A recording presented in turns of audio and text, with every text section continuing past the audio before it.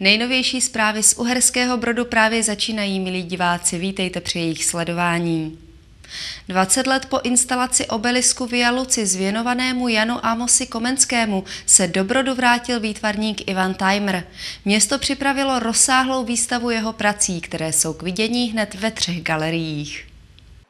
Většinu výstavních prostorů v Uherském Brodě zaplnili 14. října práce Ivana Tajmra.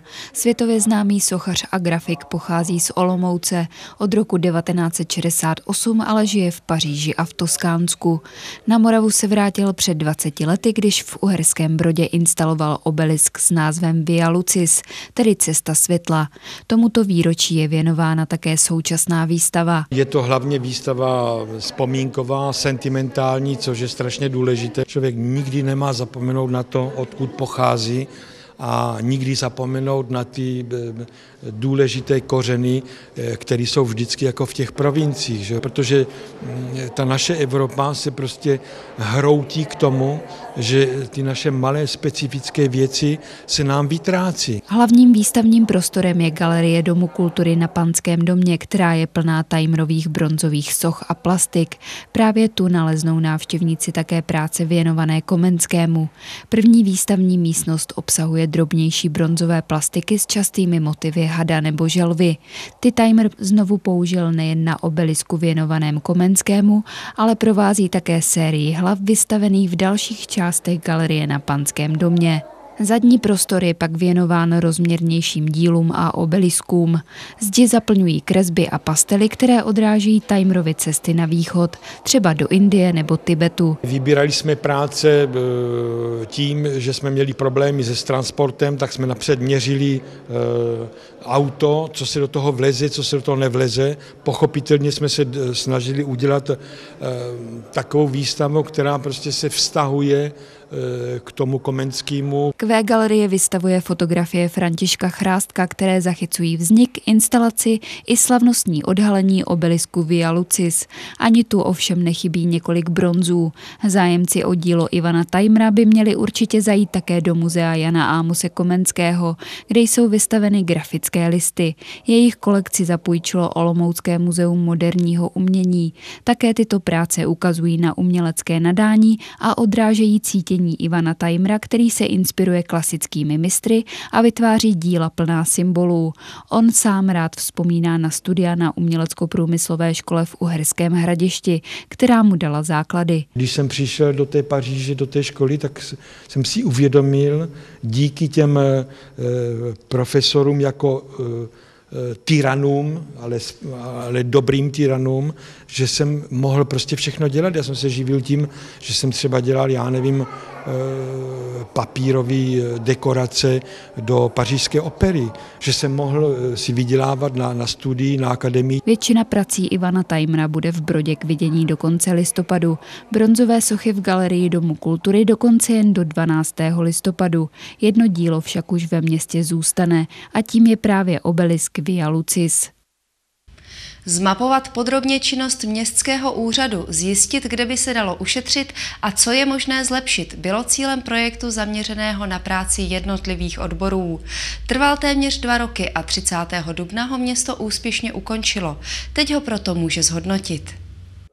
Změna organizační struktury byla hlavním výsledkem projektu optimalizace procesů na Městském úřadě v Uherském Brodě.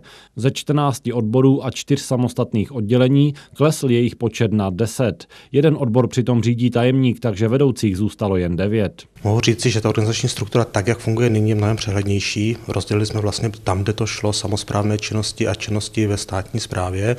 To je zejména v těch vnitřních procesech se udělal pořádek a fungují teďka mnohem optimálněji. Město se do projektu přihlásilo na základě dotační výzvy ministerstva vnitra už v roce 2010. Prvním úkolem bylo provést inventarizaci stávajícího fungování úřadu. Do ní se zapojil každý zaměstnanec. Všichni totiž museli popsat svoji činnost. Touto kompilací bylo vytvořené, byly vytvořeny tzv. katalog služeb a katalog rolí, kde vlastně je přesně popsáno v katalogu služeb, jaké činnosti úřad poskytuje a v katalogu rolí bylo popsáno, kdo tyto konkrétní činnosti poskytuje. Následovaly návrhy na optimalizaci fungování úřadu, z nichž jeden vedení města po poradě s vedoucími odborů vybralo k realizaci.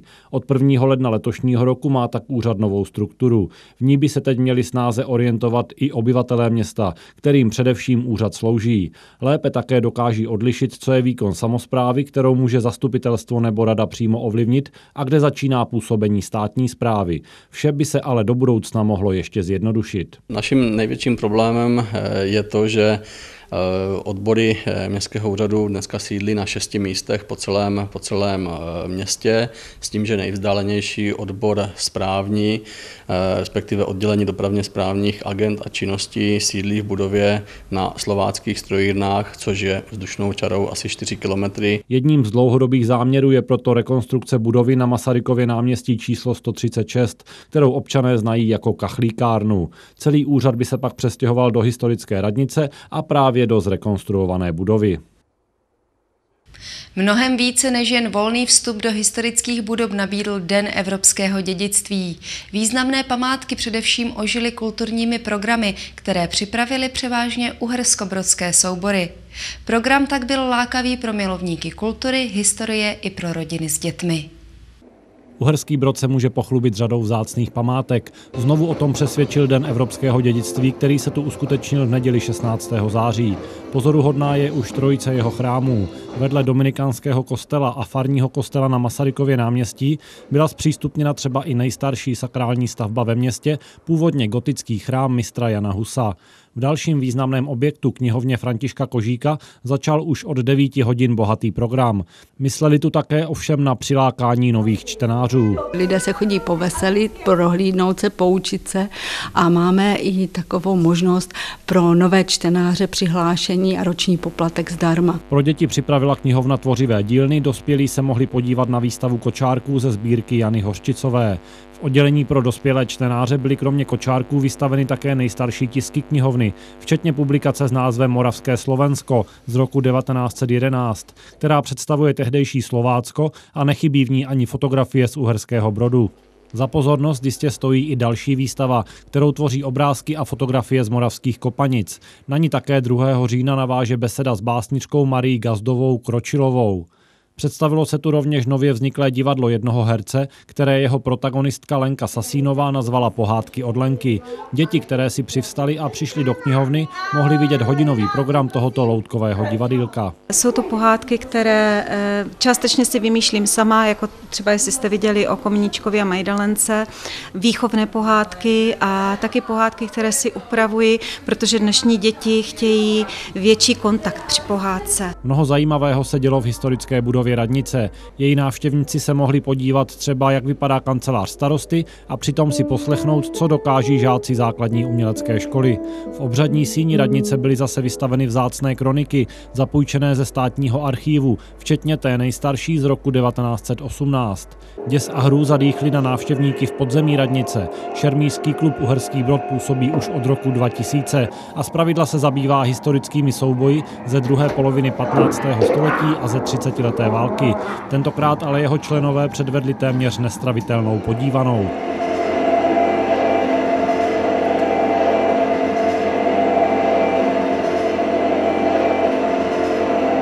Dnes jsme si připravili strašidla pod radnicí a je to Frankensteinova dílna.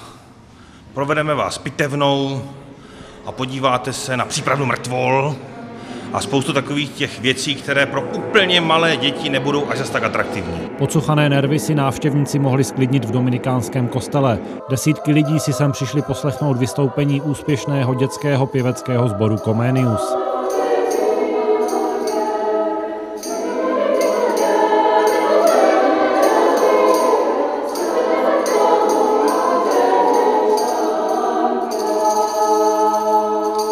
V zahradě Panského domu byl připraven malý jarmark lidových výrobků a gastronomických specialit.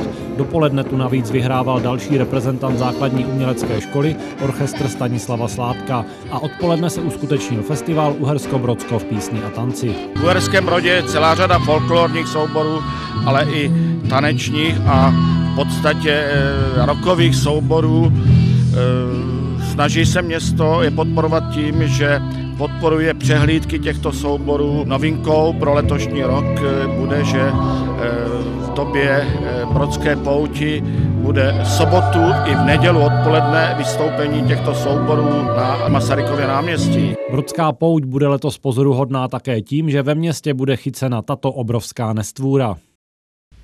Milí diváci, děkuji vám za pozornost, mějte krásný zbytek dne a budu se na vás těšit u některého z dalších vydání Brodského magazínu.